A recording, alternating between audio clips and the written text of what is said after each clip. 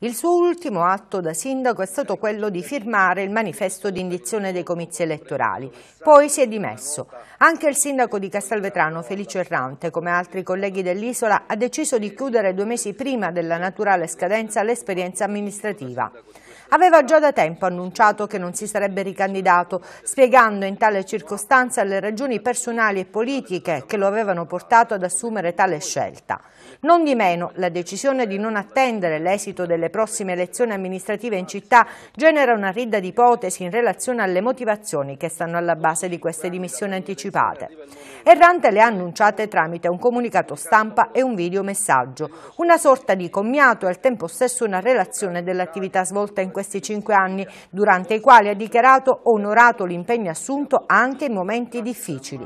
Il riferimento è anche alle note vicende giudiziarie che hanno investito il Comune di Castelvetrano, determinato il commissariamento del Consiglio Comunale e per ultimo la nomina della commissione prefettizia incaricata di passare al setaccio tutti gli atti dell'attività amministrativa. Considerato il fatto che la Commissione pare abbia acquisito nella quasi totalità la documentazione richiesta, scrive Errante, non ritengo ci siano ragioni per continuare a rimanere alla guida della città.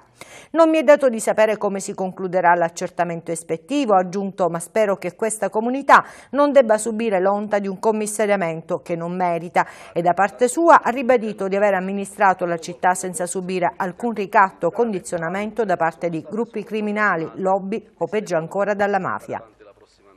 Questa dunque è la motivazione delle dimissioni anticipate che viene fuori dalle dichiarazioni ufficiali del sindaco di Castelvetrano, legata anche al fatto che per legge già da alcuni giorni e per tutto il periodo elettorale i sindaci potranno garantire solo l'ordinaria amministrazione.